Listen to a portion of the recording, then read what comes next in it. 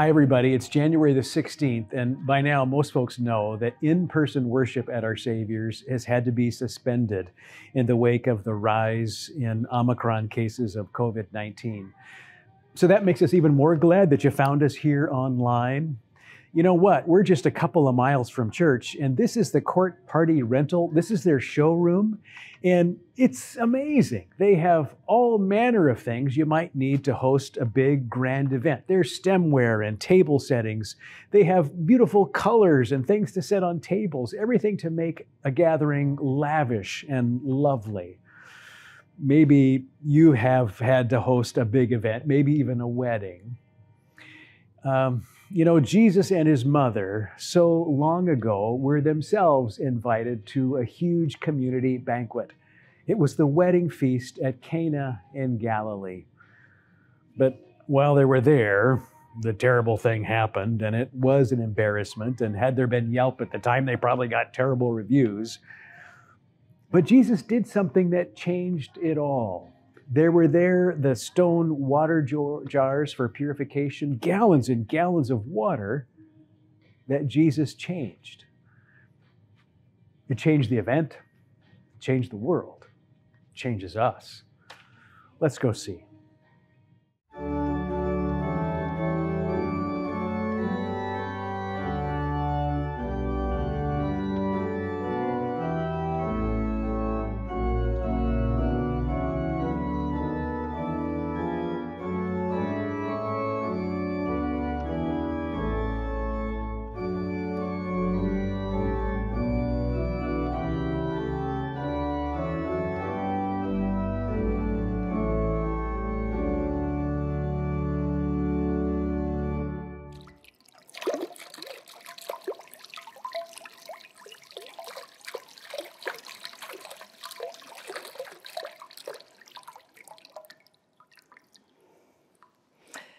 How are you doing?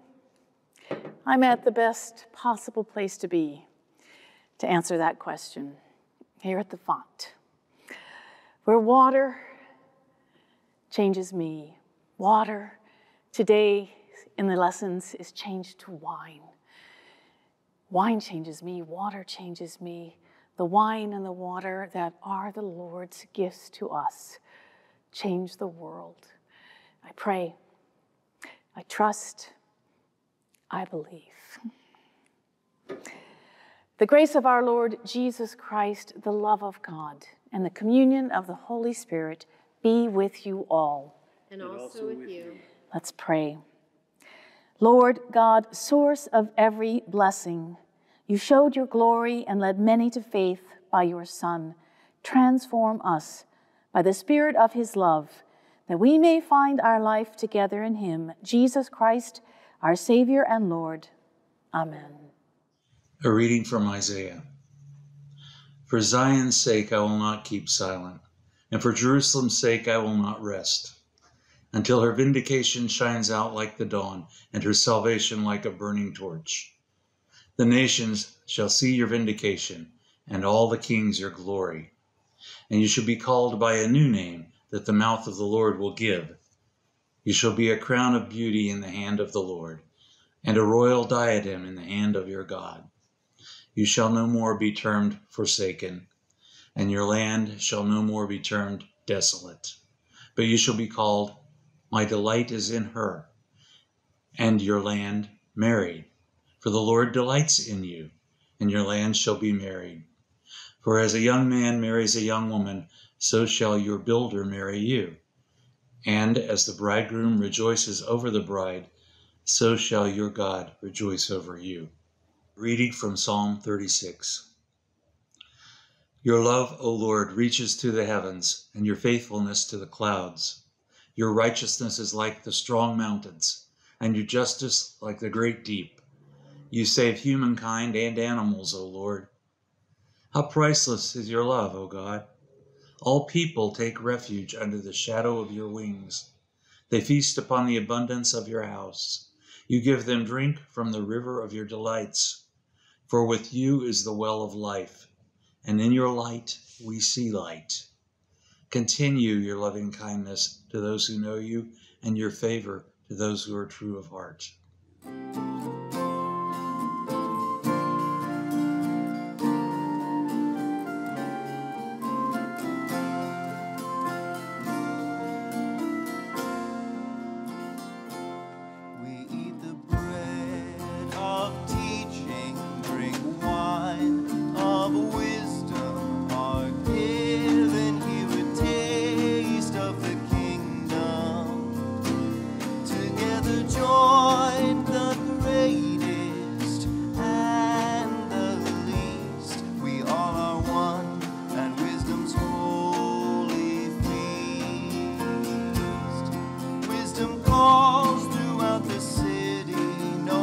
와.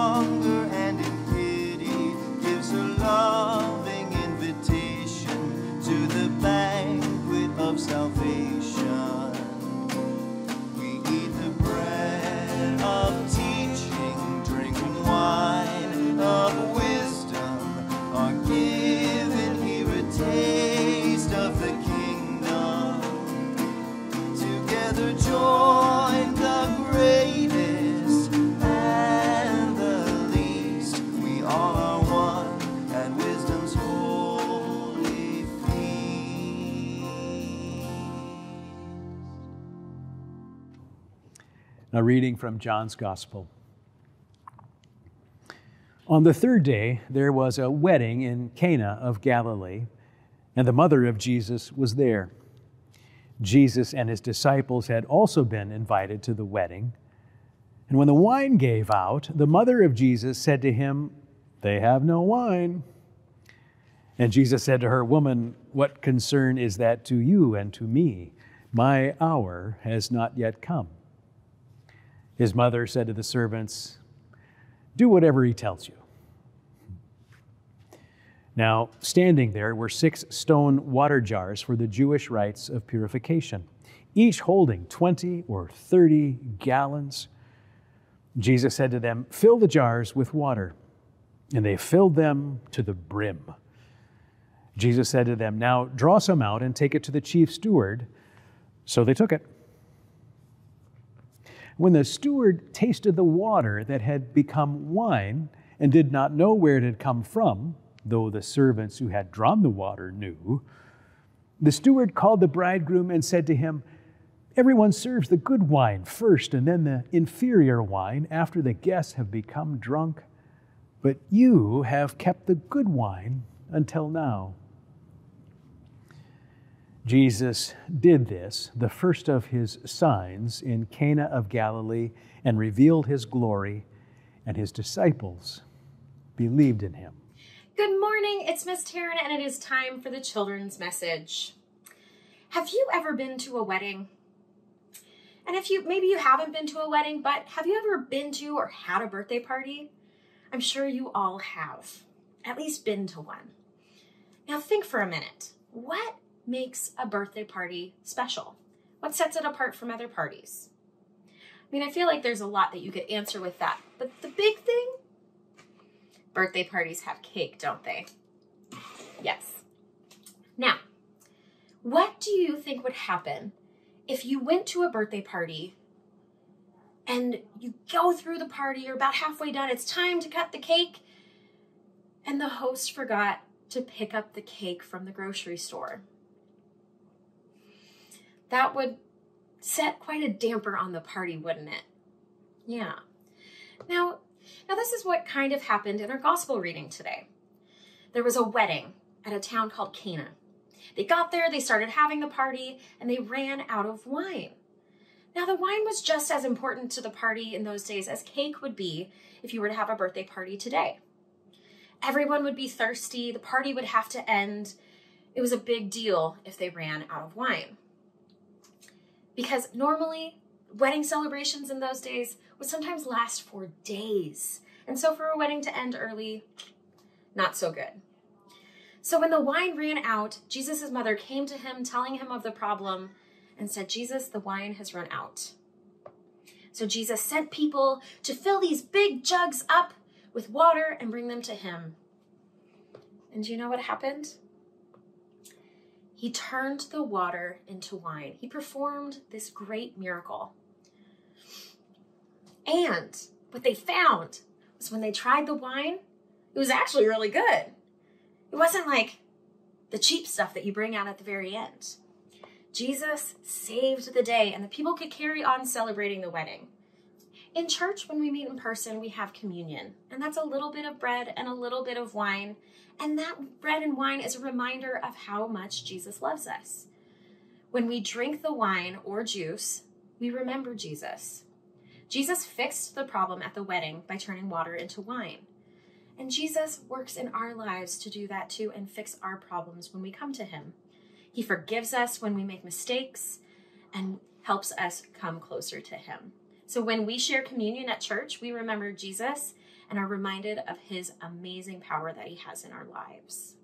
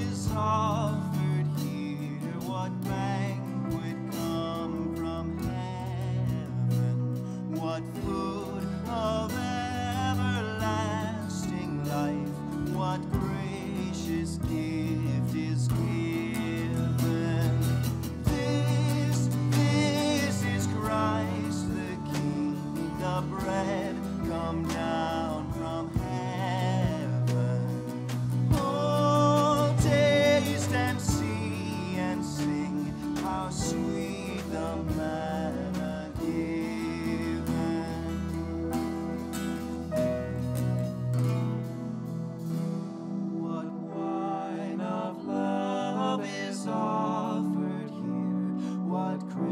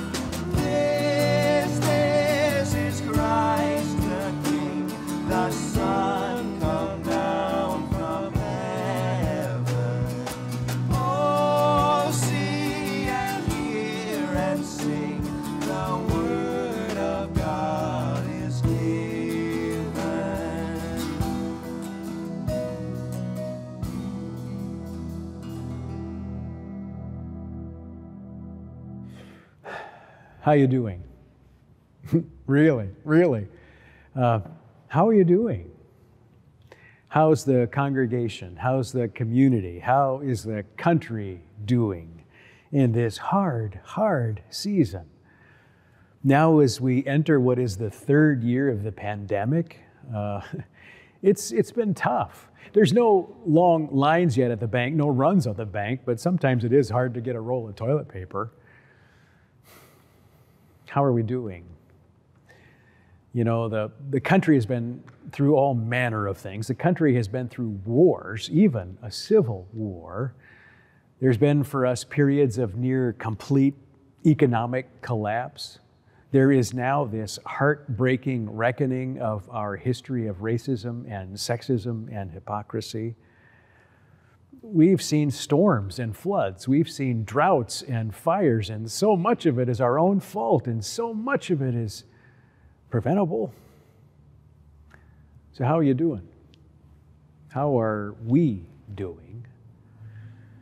In a recent PBS Marist poll, 25 million Americans surveyed said that violence, that force may be justifiable in restoring the former president to that office. I, I, I shake my head. But do you remember this? That back in 2019, polling showed that 18% of Democrats believe that violence may be justifiable if their candidate lost. Paul Solman is an economic correspondent for public broadcasting, and he reports that 15% of Republicans and 20% of Democrats, get this, believe that the country would be better off if significant numbers of members of the opposing party just died. Wow. This is Amina Amdeen. She was among thousands of protesters in Texas one day. The, the protest was convened and gathered. People were there to demonstrate against white supremacy, there to demonstrate against bigotry and especially against violence uh, against the Muslim American community. Well, during that demonstration, as you might imagine, in that part of the country, there were also what? Counter demonstrators. Other people showed up to protest them. These protesters showed up with Confederate flags, they showed up with banners supporting the former president, and they showed up with MAGA clothing. This is Joseph Weidknecht. Amdeen recalls the encounter that she had with Weidknecht that day during the protest, how there was shouting and finger pointing, how there was, there was insults and there were clenched fists. She remembers too that there were protesters on her side who found their way to circle around Weidknecht. They, they surrounded him with taunting and shouting of their own. Eventually, one of them reached up and snatched the MAGA hat off his head. Amdeen says that it was in that moment that something in her snapped. She said, You see, I am an American Muslim, and I have grown up wearing my hijab all my life. I have been surrounded. I have been intimidated. I have been insulted, and people have tried to snatch the hijab from my head, she said. Both Amdeen and Weidknecht realized that at that moment, an important line had been crossed. They both knew, they both understood each other's dehumanization you know, these days, uh, Joseph and Amina, well, they manage civil conversations. In fact, sometimes they even appear in public and talk about what the experience meant for both of them. Now, truth is, they don't like each other. They, uh, they don't agree with each other, and they haven't changed their minds. But something has changed. David Isay of StoryCorps likes to remind us all that it's hard to hate up close. John's gospel has an account of the wedding feast at Cana in Galilee. And, uh, you know, that's honestly, that's my favorite story in the whole New Testament. When I sit down with couples ahead of time making plans for their wedding ceremony and we do premarital counseling and yeah, yeah, yeah, well, I ask them to look at a series of, of possible texts that we could use for the event. And when they pick that one, I love it. I love it because it gives me this chance to talk about God entering this moment and changing things, how there's abundance and joy and mirth that the embarrassment and the sort of shame on the, on the caterer gets turned into joy and life and love. But what if that little story is about more than that? What if it is about the realities of the time? Because we forget about the shame. We forget about the judgment. We forget about the loss of status in those communities that banquets themselves were means by which one kept their, their place in the order of honor and shame.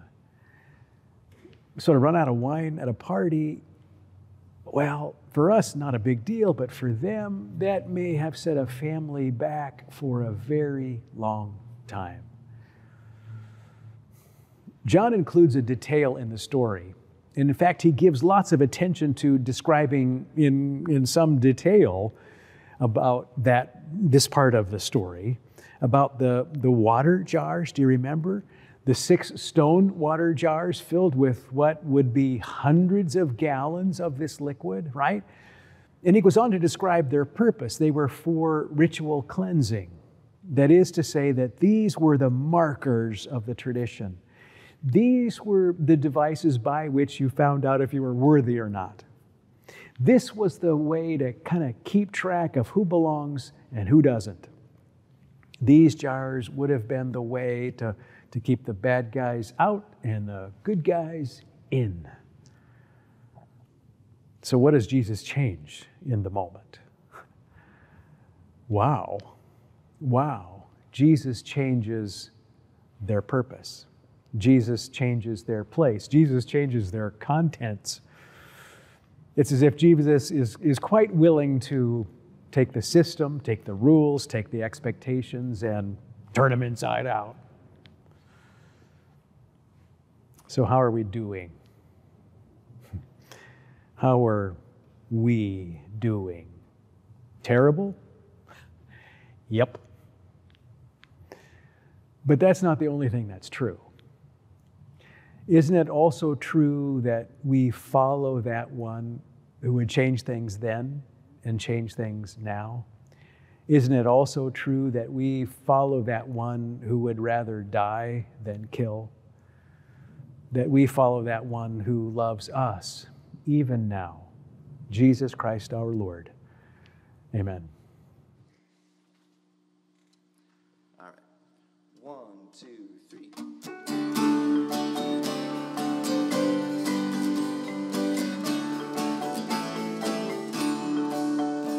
Let us go now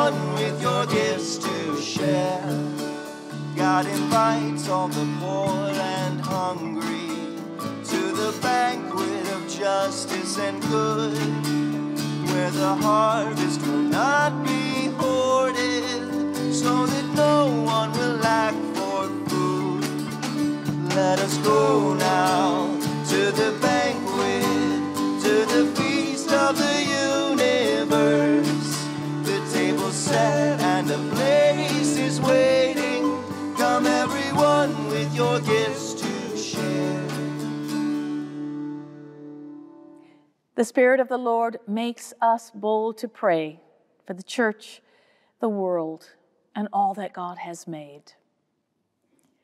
By your Spirit, fill your church with gifts of faith, healing, and prophecy. Unite your followers across congregations, denominations, and geographic boundaries. Open our hearts to recognize and celebrate signs of your presence Lord, in your mercy, hear our prayer. Your creation reflects your abundance.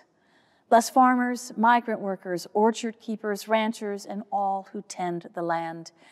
Protect food and water sources that all can eat and drink and be satisfied.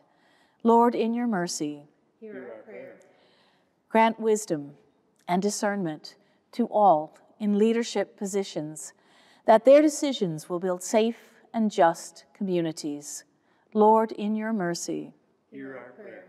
As Jesus provided in a moment of need, pour out healing for those in need this day, especially Holly, Tristan, Hannah, Carter, Grace, Tyler, James, and Adrian, Cheryl and Jordan, David and Aspen, Neva, Bev, Larry, and Larry, Tracy, Bill, and Bill, Bryce, Doug, Jim, John, Krista's mom, Nora, Nancy, Beth's mom, Carolyn, our preschool, and all schools and teachers, and first responders, those providing health care. Lord, in your mercy, Hear our prayer. we give thanks for the life of Martin Luther King Jr., for Bev Bruner, and for the gift of all saints who modeled the way of faith. Lord, in your mercy, Hear our prayer. you see us for who we are, and you delight in us. Embrace those of us struggling with self worth, wrestling with self identity, or facing significant life transition. We pray in confidence and faith and hope, knowing that nothing can separate us from your love. Amen. Lord, remember us in your love and teach us to pray. Our Father in heaven, hallowed be your name. Your kingdom come, your will be done on earth as in heaven. Give us today our daily bread. Forgive us our sins as we forgive those who sin against us.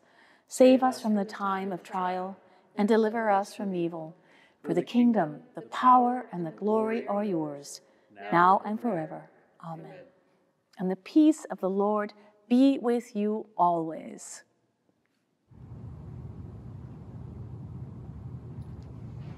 Hey guys, peace everybody!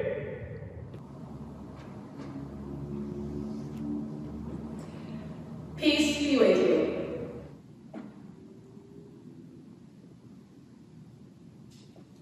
Peace be with you. And now for the news. Change for Change has raised $357 and it's heavy. Thanks for your noisy offerings. We are giving that away to local charities, 20 bucks at a time. You get to choose. Talk to me, text me, call me, let me know how you can be part of that $20 giveaway challenge. Join us for climate change. Every Sunday morning online, that's the adult learning class, Climate Justice. It's going really great. Family and Friends Gathering is also tonight online. Join us for Stone Soup, and you will find craft kits to be picked up at preschool, at church, or some downloadables. Kids Club Ministry, you'll find some things coming to you at home for that way too. Look for an email from Mrs. Cooper, and please join Taryn at noon on Sundays if you're in middle school by Zoom starting January 23rd for this time that we are not together. We're not together, but we are still connecting. In person worship is suspended temporarily, small groups are not. Please contact any one of these ministries if they're yours and find out how you are staying connected and in touch. Thank you for choosing to stay in touch with your giving plans. We are grateful for the over 150 households that turned in a plan for giving, and especially those who chose Give Plus. Sheila Bartlett says thank you. January 30th, we are having an annual meeting of the congregation. We have a budget to pass. That will be 10 o'clock. That will be on Zoom. I look forward to seeing you in your square. Find the link online and more to come.